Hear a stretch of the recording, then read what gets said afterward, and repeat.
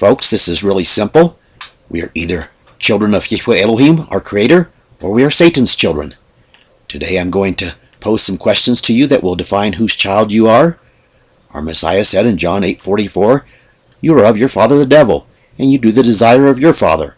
He was a murderer from the beginning, and he abode not in the truth, because there is no truth in him. When he speaks a lie, he speaks of his own, because he is a liar, and the father of it.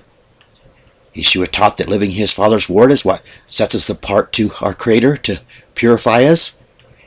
It is Yahweh's desire that we obey his word in order to be purified through doing so. It is Satan's desire that we rebel against Yahweh's word so that we will be dead for eternity. This is why he is a murderer from the beginning. The night before Yeshua was killed, he besought his Father before his disciples. He said in John 17, 17, he said, Father, purify them in truth. Your word is truth. Folks, this is so simple. You're either being purified through living the truth, which is Yahweh's word, or and he is your father, or you are clothed in filthy, soiled garments that you got from Satan, and he is your father instead. Which is it? According to our Messiah, if you do not live the truth, you are of your father the devil. Here is today's quiz. We'll start with the Sabbaths as the first question, since Yahweh says that his Sabbaths are a sign between him and his children forever. A. Does the Father that you obey tell you that his Sabbaths are based on the calendar that his word testifies to? Or B. Does the Father that you obey tell you that his Sabbaths are based on a fixed day of the week on the Roman calendar that Yahweh's word testifies in Daniel 7:25 that Satan would inspire his servants to set up in order to change time and laws? Or C, does the Father that you obey tell you that it does not matter what day you set aside? Or D, does the Father that you obey tell you that his Son did away with his Sabbath so you do not have to set any day aside? I'm going to spend some time on this question today because of its huge significance. It always has been huge, but now it is a big part of the final showdown between truth and all that opposes it. And now the truth has been restored, and all who do not side with it and return to it will be purged out in the coming days. According to our Messiah, it is his Father's word that all will be judged by with the, in the last days. So let's see what his word says. His word says in Genesis 1.14, And Elohim said, Let there be lights in the firmaments of the heaven to divide, divide the day from the night, and let them be for signs, and for appointed times, and to determine days and years with. In other words, for his calendar. Leviticus 23 says that his Sabbaths are included in his appointed times. You have to look up some words because there's some translation errors there, but that's what it says.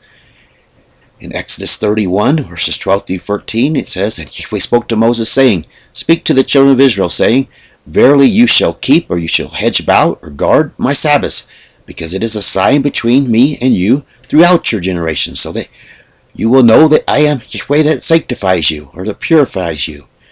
Therefore hedge about, or guard the Sabbath, because it is to be holy, or it is to be set apart to you. Every one that defiles it, or profanes it, dying they will die. Inasmuch whosoever does any work therein, that soul will be cut off from being my people. So if you selected either C, eh, does your father that you obey tell you that it does not matter what day you set aside, or D, does the Father that you obey tell you that his Son did away with his Sabbath so that you do not have to set aside any day? According to his word, Satan is your daddy. According to his word, having the Sabbath correct is a matter of eternal life or eternal death. It is a matter of who his children are and who is cut off from him. And having it correct is a huge test that Yahweh has put before those who will return to him to be delivered into the millennium. Having it correct is a big part of the final showdown between truth and all that opposes it. There are those who say that the Sabbaths are on Saturday, and there are those who say that it is on Sunday. These are both easy to disprove because a Sabbath on a fixed day of the week on the Roman calendar does not reconcile with Yahweh's word. This is discussed in detail in the Are the New Moon Days Commanded Worship Days video that is found on the site. So if you selected B, does the Father that you obey tell you that his Sabbaths are based on a fixed day of the week on the Roman calendar that Yahweh's word testifies in Daniel 7:25 that Satan would inspire his servants to set up in order to change time and laws, then according to Yahweh's word, Satan is your daddy. There are also those who correctly understand and believe that he gave us his luminaries to use to determine when his Sabbaths are, like he said that he did in Genesis 1:14. But which group of these has it correct?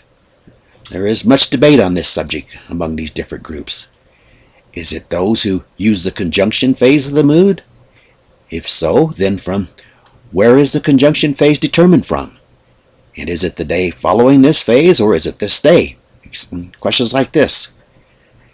There are those who say that it is the full moon phase because they have put their eternal hopes in the book of Enoch and what they think Psalms 81, 81 3 says.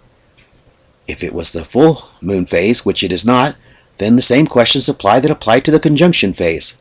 From where is the full moon phase determined from? And is it the day following this phase or is it this day, etc.?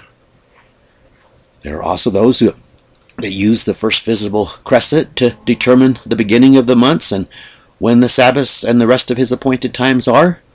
The same questions apply within this group. From where is the crescent determined from? And is it the day following this phase or is it this day? Questions like these. Understanding the answer to the Sabbath question begins with understanding that Yahweh put us here in the flesh to test us and to prove us. Who will we listen to? Will we listen to his servants, the prophets? Or will we listen to Satan and his servants? Folks, we have to use Yahweh's word to measure all things. It's the measuring rod. If his word says that he put the luminaries here for us to use, he did so for a reason. His word testifies that the months were always 30 days long until he altered them. His word also testifies that he would send one in the spirit of Elijah at the time of the end to restore all things. After he altered the rotations, the months went from 30 days in length to 29.53059 days. So in lieu of this, the first step for you to make should be to determine when and why he altered them. Before he altered the rotations of the luminaries, they were always in sync with the 30 day month. His word testifies that each month had two new moon day celebrations, followed by four seven day weeks, with the seventh day of each week being the Sabbath. After he altered the cycles, each month either has 29 or 30 days. Therefore, some months ha only have one day, a one day celebration, and some have two days, followed by the four seven day weeks. A continually rotating seven day cycle does not fit into his rotations of the luminaries, nor can it be reconciled with his scriptures to fit his new moon worship days that we are commanded to observe. Therefore, a seven day continual rotating cycle does not fit into Yahweh Elohim's word. The testimony that he sent me with was, is that he altered the rotations when Hezekiah required a sign to prove that Yahweh had healed him and given him 15 more years. When he when Yahweh moved the sun back in order to cause the sundial to go back 10 degrees, this caused a 40 minute per day shift in the rotations. The number 40 is not a coincidence here. Here is how the arithmetic works. 40 minutes a day times 30 days equals 1200 minutes. Look at the significance in these numbers. 1200 minutes difference per month. 1200 minutes difference per month times 12 months. This, is, this gets you the difference per year. And that is 14,400 minutes difference per year. And you look at the symbolism there, 14,400 and how that is like with the 144,000. 14,400 minutes difference per year times three years time is 43,200 minutes that it would be off over the course of three years. 43,200 minutes divided by 60 minutes per hour equals 720 hours that would be lost over a three-year period of time. 720 hours divided by 24 hours in a day equals 30 days that would be lost in a three-year period of time. With the months only being 29.53059 days, we need to add a 13th month to the lunar calendar every three years in order to keep the lunar year balancing with the solar year. That's why Judaism is about they add a year, add a month each of three years. So this establishes when the cycles were altered. But what about the why? The reason why is huge in relation to where we're at in time in lieu of the restoration of all things. The reason why was because Hezekiah did not believe Yahweh's word that he would heal him that he sent to him through the prophet Isaiah. He required a sign instead.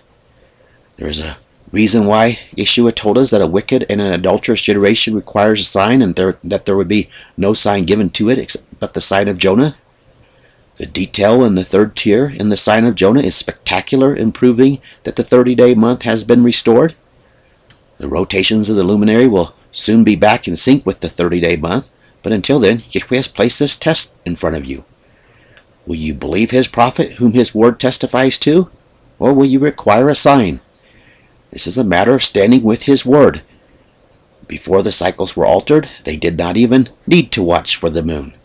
They simply needed to count 30 days off each month and guard this count like they were commanded to, to guard his Sabbaths. Of course, the moon was always in sync with this count before they were altered, but it was because of Hezekiah not believing Yahweh's prophet that this count went away. And the count has never been truly in sync since it was altered with the Sabbath. After this, they had to rely on the visual sighting of the moon. In lieu of, in lieu of this, sometimes they had to rely on guesswork when they could not see the moon and they were sometimes off. And of course, I spoke about before how it kind of wobbles through a 19 year cycle before it returns to the same place. So certainly difficult for them to get a handle on it. It might have been cloudy for a few months in a row, so they had to devise calculations to keep them close. And of course, this took time as well. From there, Yahweh knew that Israel would lose track of his Sabbaths he knew that Satan would inspire Hillel II to fix the Sabbaths on his perverted Roman calendar 1230 years later. Yahweh's word prophesied that this would happen. I spoke about that recently on the Jericho video. Hezekiah was given his sign in the year 2886. This was 1230 years after the flood that occurred in the year 1656. The year that Hillel II fixed the Sabbath on Saturday on Satan's calendar was the year 4116. The year 4116 was 1,656 or 1,656 years ago from this year. So the same number of years from when Adam and Eve were put in the garden until the flood. The timing in all of this is incredible. But the point in this is, will you believe Yahweh's word and stand with it, or will you need the sign to accompany it? If you need the physical sign of the rotations to prove his word, you simply do not believe our Messiah who said that no other sign would be given but the sign of Jonah. Yes, his word says that he put the rotations there for, for us to use, but a physical sign does not trump his word. He put the rotations there for us to use until he restored his 30-day calendar. You have to deny his word on, on several counts to deny that he has sent me to restore all things, including the rotations. A physical sign does not trump his word, and this is why Yeshua said there will be no other sign given. And of course, the rotations, like I said, they will be restored to be in sync with it as, as, well. If you would just think about it, he has been setting up the stage of this final showdown from the time that he set up the luminaries the way that he did. The altering of them was all part of this final showdown, and so was why he altered them in lieu of Yeshua's prophecy that there would be no other sign given. He said this is such an important subject to have correct because his Sabbaths are a sign between him and his children. If the sign of Jonah is not true and you want to stand with the physical sign of the luminaries, then I suggest that you find another Michael that has restored what Yahweh has already restored through me and who has also fulfilled the prophecies that Yahweh has already fulfilled through me to stand with. And I suggest you do so quickly. Okay, back to the quiz. I just wanted to spend some time on when the Sabbath is today because of the importance of it. Next question. Does the Father that you obey require you to observe his three annual harvest feast when he says they are? And obey them how he says to obey them? Or does the Father that you obey tell you to observe the traditions that came from pagan origins like Christmas and Easter? If you choose B, you are of your father the devil. Our Messiah said in Matthew 15:3, Why do you also violate Yahweh's commandments through your traditions. In a couple verses, he said later, he said, verse 6, And you have disannulled Yahweh's word through your traditions. You are hypocrites. Isaiah prophesied well of you, saying, This people honors me with their lips, but their heart is far from mine. For you worship me for no purpose, in vain, teaching the doctrines of men's religious precepts. It is incredible how removed nearly all are from our Elohim's commandments. Even groups that observe a form of his feast pervert them to no end. For instance, just look at the Feast of Temporary Dwellings that just passed. We are commanded to make temporary dwellings or huts out of trees and branches and then sit in them for seven days. Most groups who claim to observe this feast go and stay in fancy hotels for what they call this feast. And they are of their father, the devil, in doing so. A. Does the Father who leads, guides, and directs your footsteps tell you to do the least of His commandments, like wearing blue tassels, and to teach others to do the same? Or B. Does the Father that leads, guides, and directs your footsteps tell you that His Son nailed these things to the cross and you do not have to do them? If you answer B, then Satan is your daddy. Our Messiah said in Matthew 5:19, Whosoever therefore breaks one of the least of the commandments and teaches others to do so, he will be called the least by the kingdom of heaven. But whosoever will do them and teach others to do them, the same will be called great by the kingdom of heaven. Therefore I say to you that unless your righteousness exceeds the righteousness of the scribes and the Pharisees, you will in no way enter into the kingdom of heaven. This is right after he said that he did not come to get rid of one punctuation mark from his Father's Torah until heaven and earth pass away. After he said this, he continued on to magnify the Torah, like Isaiah prophesied that he would. Does the Father who is telling you how to live tell you that all liars will be thrown into the lake of fire with the adulterers, etc.? Or B, does the Father who is telling you how to live tell you, yes, lying is wrong, but no one is perfect, so you shouldn't be so hard on yourself. You shouldn't be so hard on others. If Yahweh is your Father, you will have chosen A, because his word says in Revelations 21 8, but the faithless, those who do not trust and obey our Elohim, and the disbelieving, the ones who do not believe him, and the abominable, and the murderers, and the fornicators, and the sorcerers, and the idolaters, and all liars will have their place in the lake of fire which burns with uh, the lake which burns with fire and brimstone, which is the second death. Does the Father that you listen to tell you that if you want to enter into eternal life, you have to keep the commandments? Or B, does the Father that you listen to tell you that you are saved by grace as long as you confess his Son's name with your mouth and believe that he raised him from the dead like Saul of Tarsus taught? A son told us, he said in Matthew 19:17, Why do you beseech me as being good? There is only one that is good. But if you desire to enter into life, eternal life, hold fast to the commandments. So, if you chose B, guess what? Satan is your daddy because you chose to listen to his boy Saul of Tarsus instead of listening to Yahweh Elohim's son. A, does the father, does your father tell you that your first priority in your life needs to be on his righteousness and on his kingdom? Or B, does your father tell you that you can choose how to live for yourselves, choosing right from wrong for yourselves, and that as long as you are a good good person to others, you are in good with him? Or C, does your father tell you that your Family is what is most important. Yeshua said in Matthew 5 to be perfect in the manner that his Father in heaven is perfect. I read a minute ago where he also said that unless our righteousness exceeds that of the scribes and the Pharisees, we will in no way enter into his Father's kingdom. He told us that our first priority needs to be on his Father's righteousness and on his kingdom and to not be concerned with the things of the world, like even food and clothing. He said things like in Matthew 10, where he said, He that loves father or mother more than me is not worthy of me, and he that loves son or daughter more than me is not worthy of me, and he that does not take up his stake, referring to lose his or her life, and follow after me, which is pursuing after the same path that he walked on, which is his Father's word, is not worthy of me. And he that finds his life will lose it, and he that loses his life for my sake, in other words, for his Father's word's sake, since he was made to be his Father's word in the flesh, will not find, or excuse me, will for, for my sake, will find it. So if you picked either B or C, you are of your father the devil. Folks, I could keep going on and on because there are scores of questions like these that I could ask that prove that the father of the blasphemous religion of Christianity is Satan. Come out of her and be not partakers of the wrath that is about ready to be unleashed upon her whoredom. Saul of Tarsus has been declared to be the abomination of desolation. His teachings desolated the truth that delivers us into Yahweh's family.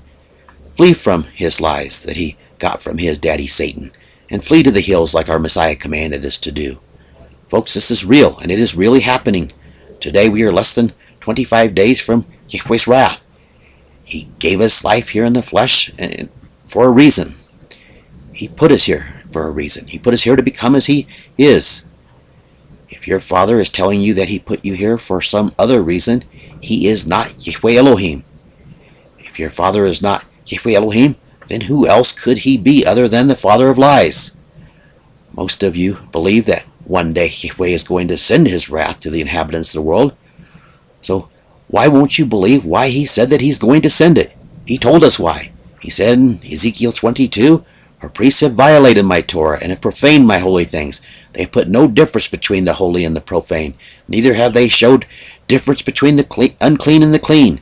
And they have hid their eyes from my Sabbaths, and I am profaned among them.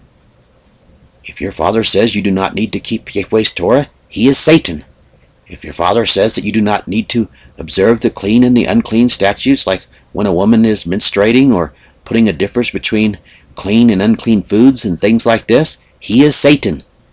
If your father tells you that you do not need to observe Yahweh's Sabbaths when and how he says to observe them, he is Satan. And you have profaned Yahweh Elohim's name in your whoredom with your father the devil. Thus saith Yahweh Elohim,